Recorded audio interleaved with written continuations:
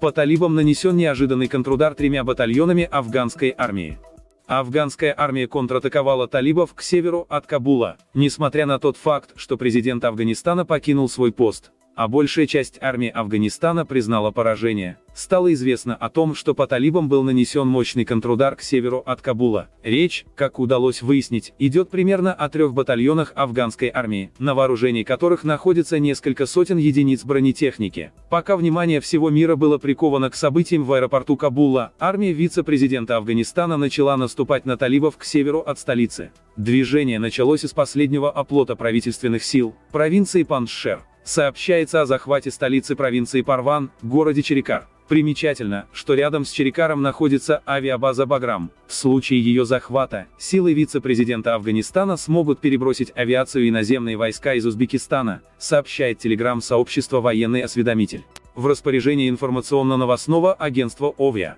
ПРО оказались уникальные видеокадры переброски бронетехники и сил остатков афганской армии в район Кабула. Причем, как можно увидеть, оставшиеся афганские военнослужащие достаточно хорошо вооружены. Учитывая, что количество последних составляет порядка 5-6 тысяч человек, что-либо противопоставить силам Талибана они вряд ли смогут. Специалисты не исключают, что если столкновение между оставшейся армией Афганистана продолжится, талибы могут начать жесткие боевые действия и зачистки. Մովսես Հակոբյանի գործով նոր հրահանգ կա։ Ժողովուրդ օրաթերթը գրում է. Մովսես Հակոբյանի գործով նոր հրահանգ կա դատական տեղեկատվական համակարգում սահմանափակելով զինված ուժերի գլխավոր շտաբի նախկին պետ Մովսես Հակոբյանի քրեական գործը քաղաքական իշխանությունը չի բավարարվել։ Արդեն հրահանգ կա դատական նիստն անցկացնել դռնփակ ռեժիմով։ Հիշեցնենք, որ ԱԱԾ-ն Հայաստանի Հանրապետության Պաշտպանության նախարարության զինված ուժերի գլխավոր շտաբի նախկին պետ Մովսես Հակոբյանի նկատմամբ պետական գաղտնիք հրապարակելու փաստի արդիվ հարուցել էր քրեական գործ։ Քանի որ նա պատերազմի ընթացքի մասին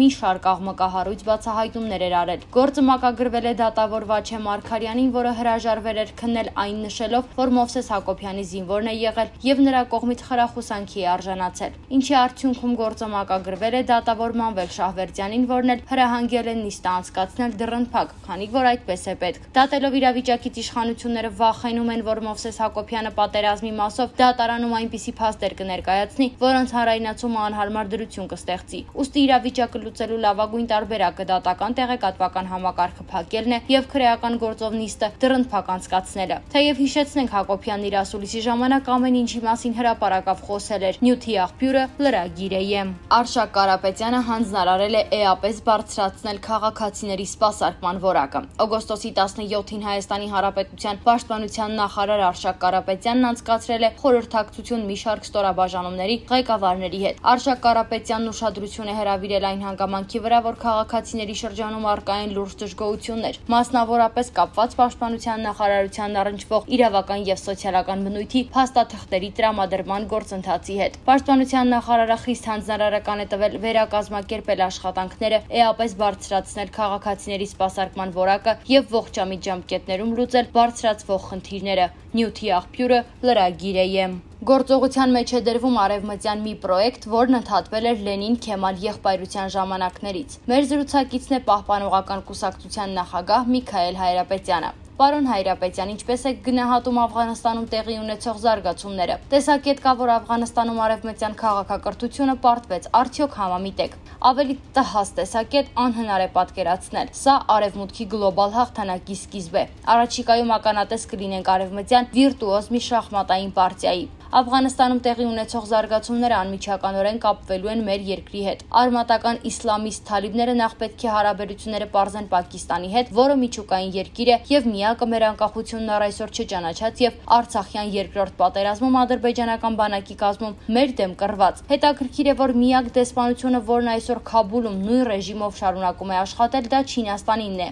Այն Չինաստանի, որը իր ներարկումներով երկու տարի շարունակ անխոնջ կարողանում է կործանումից փրկել թուրքական տնտեսությունը։ Մեր պետությունը պարտավոր է հաշվի առնել այս եւ այլ շատ կարեւոր աշխարհքաղաքական իրողություններ, մասնավորապես այն, որ աֆղանստացիները մղվելու են Միջին Ասիա, որի հումքային պաշարները կենսական նշանակություն ունեն։ Չինաստանի համար եւ որն անմիջականորեն շոշափում է Ռուսաստանի պետական անվտանգությունն ու տարածքային ամբողջականությունը, իսկ Թուրքիան էլ անկախ իր կամքից ներքաշվելու է այս խաղի մեջ։ Տեղի ունեցածը ինչ հետևանք կարող է ունենալ Հայաստանի վրա, ինչպիսի մարտահրավերներ կան։ Մարտահրավերները մեզ համար գոյություն ունեն եւ դա ամենևին այն չէ, որ Թուրքիան կամ Ադրբեջանը հերթական անգամ ռուսական օրհնությամբ եւ աջակցությամբ կհարցակվեն Հայաստանի վրա, այլ այն, որ գործողության մեջ է դրվում արևմտյան մի պրոյեկտ, որն ընդհատվել էր Լենին Քեմալ եղբայրության ժամանակներից։ Մեր պետությունը պարտավոր կլինի ավելի զգուշավոր եւ ոսկերչական ճշգրտությամբ նավարկել արևմուտք Ռուսաստան շահերի բախման գոտում, եւ մեր ապագա ողբերգությունը կամ աներևակայելի նվաճումները կախված կլինեն այդ նավարկման որակից եւ վարպետությունից։ Ինչու աֆղանները նման ընտրություն կատարեցին, աֆղանները չէ որ ընտրություն են կատարել։ Ընտրություն կատարելու Աստված ընծաշնորից նրանք զրկված են այն պահից, երբ հանդուրժեցին, որ ռուսական բանակի հատուկ ծառայությունները սպանեն իրենց երկրի ղեկավարին։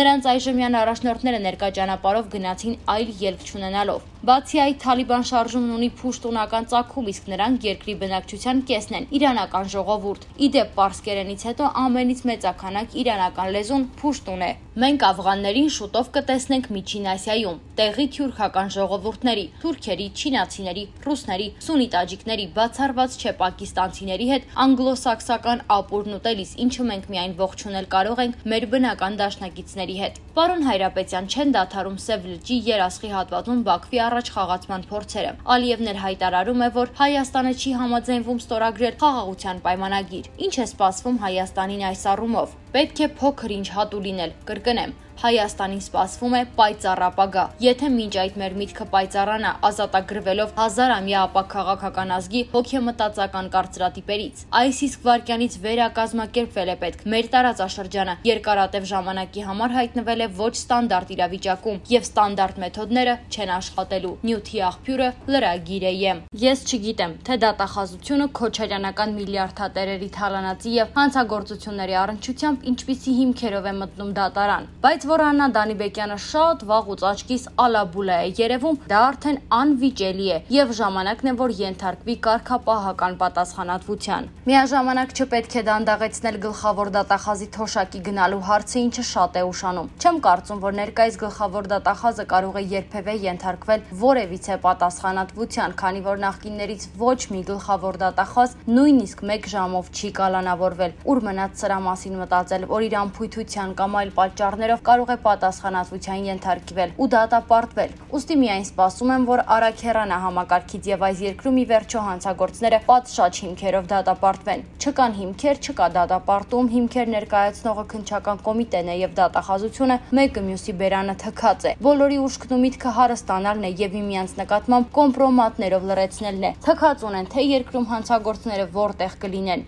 Այսօր Ռոբի Աննան Սեթրակոչի ողջ գույքի վրա դրված կալանքները վերացրեց։ ՔՊ ՊՆԱԺ-ում 71 պողպատե մանդատ ունի եւ 3 տարվա ցավալի պրակտիկա, ինչից կարծես դասեր չի քաղում։ Առողջ եղեք ՀԴՄ-ները չմոռանաք եւ չնեղվեք, մի օր բոլորը պատասխան են տալու։ Գրառումը կատարել էր Հայկ Թորոյանը իր Facebook-յան էջում։ Ադրբեջանցիներն Արցախում կրակել են հրշեջ մեքենայի ուղությամբ։ Արցախի հանրապետության հարավ-արևմտյան սահմանին գից շուրջ 3 հեկտար մակերեսով հատվածի խոտածածկ տարածքում օգոստոսի 17-ին ժամը 20:40-ի սահմաններում հակառակորդի արձակած կրակոցների հետևանքով հրդեհ է բռնկվել։ Այս մասին հայտնում են Արցախի պաշտպանության բանակից։ Բռնկված հրդեհի մարման նպատակով դեպքի վայր է մեկնել Հրշեջ ավտոմեքենա, սակայն ադրբեջանական զինուժը կրակ է բացել Հրշեջ մեքենայի ուղությամբ։ Խոչընդոտելով կրակի մարման աշխատանքներին հակառակորդի կողմից արձակված կրակոցներից հայկական կողմը կորուստներ չի ունեցել, նշում են պաշտպանության բանակից։ Միջադեպի առնչությամբ համապատասխան տեղեկատվություն է տրամադրվել ռուսական խաղաղապահ զորակազմի հրամանատարությանը։ Նյութի աղբյուրը